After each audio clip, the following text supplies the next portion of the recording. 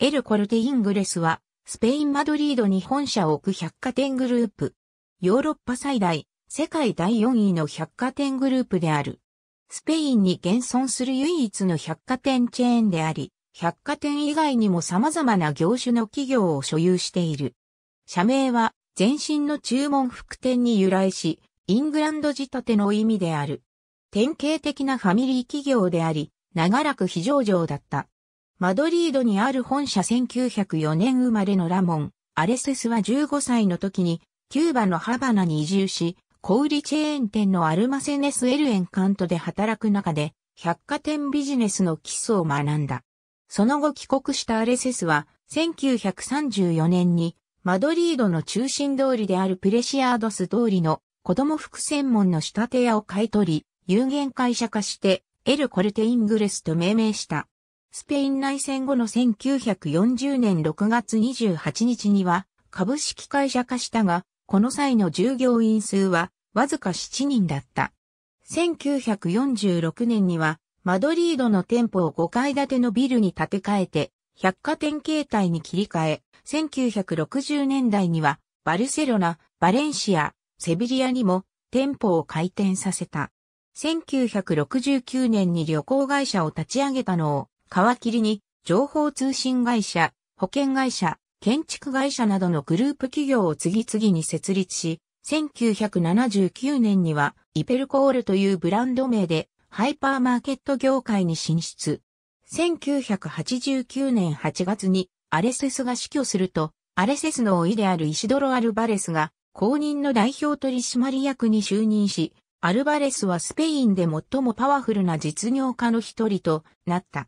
アルバレスはマドリードコンプルテンセ大学で経営学と経済学を学び、24歳でエル・コルテ・イングレスの役員になると、31歳だった1966年には重役に昇格していた。百貨店業界で唯一の競争相手と言えるのがガレリアス・プレシアードスだったが、1995年には破産間際のガレリアス・プレシアードスを買収した。2001年には目立った百貨店が存在しないポルトガルの首都リスボンに初の国外店舗を開店させた。国外展開などが評価され、2004年度には全米小売業連盟賞を受賞した。2006年にはポルト近郊のビラノバデガヤにポルトガルでの2号店を開店させた。エル・コルテ・イングレスは音楽、映画、ポータブル電子機器、家庭用電子機器、家具、ハードウェア、書籍、衣類、食料品、高級食品、自動車、不動産など様々なジャンルの製品を提供している。2010年代にはファッション専門サイトの開設や高級ブランドのオンラインショップ開設を行い、ネット販売の取り組みに力を入れている。2013年10月、サンタンデール銀行グループに対して51%の株式を約1億4000万ユーロで売却した。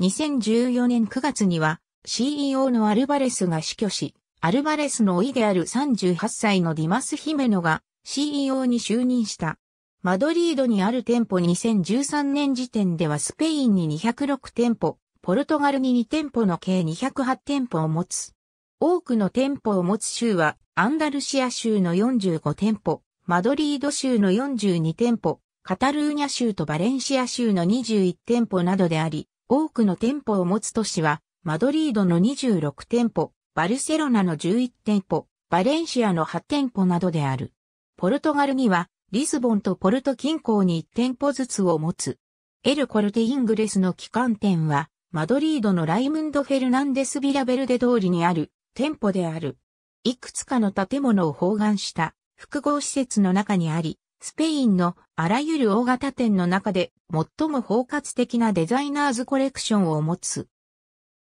この旗艦店に入居するブランドは、エルメス、ルイ・ヴィトン、カルティエ、アルマーニ、アルマーニジーンズ、アルマーニコレツヨーニ、グッチ、ロエベ、ドッカーズ、ラルフローレン、ブルガリ、ディオール、ディオールオム、ジョルジュレック、ベルサーチ、ヒューゴボス、ボスウーマン、エルメネジルド、ゼニア、トミー・ヒルフィガー、ドルチェガッパーナ、バーバリー、フォーセナーベラ、パルツェレリー、ポールシャーク、ラコステ、パビオン・クリストフル、キャロライナ・エレーラ、エスカーダ・スポルト、ジェームズ・パーディサンズ、ロイズ、プユラフィコスヨン・ガルシア、カルバン・クラ、また、アルデオのマドリード支店も内包しており、ブシュロンやブランパンやハミルトンなどの装飾具を取り扱っている。2013年4月24日、バングラデシュの首都ダッカ近郊のシャバールで8階建ての商業ビル、ラナプラザが崩壊し、少なくとも1127人が死去し、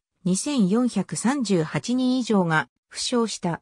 この商業ビルには約5000人を雇用するいくつかの縫製工場、商店、銀行などが入居しており、エル・コルテ・イングレスに加え、ベネトン、ジョー・フレッシュ、ザ・チルドレンズ・パレス、プリマーク、モンスーン、ドレスバーンなどの下請け工場が入居していた。2013年9月、国際労働機関などは、ラナプラザの工場から製品を調達していた28社を保証協議会合に呼んだが、会合に出席したのは10社にも満たなかった。エル・コルテ・イングレス、ベネトン、プリマーク、ロブローの小売業4社は、犠牲者保障に関する土台の共同作成を決定した。ありがとうございます。